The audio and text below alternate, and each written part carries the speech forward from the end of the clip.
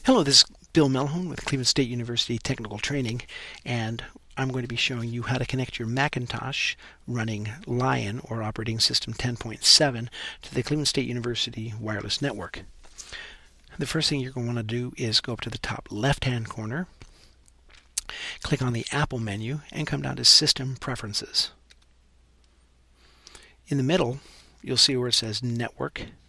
If you'll click on that button, you'll bring up the network preferences.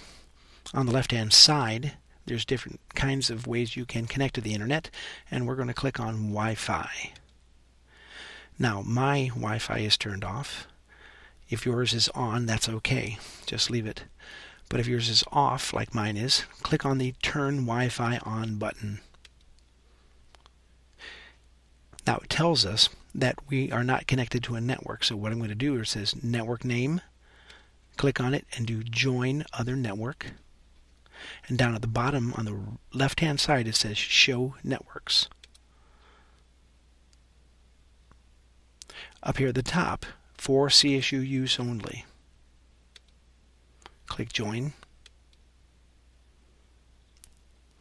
And at this point you just have to type in your CSU ID number in the text box labeled username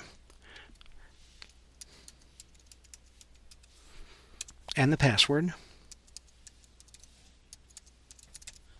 and click join. That's all there is to it. If you have any questions, give us a call at 687 5050 and we'll help get you connected to the wireless network. Thanks for watching.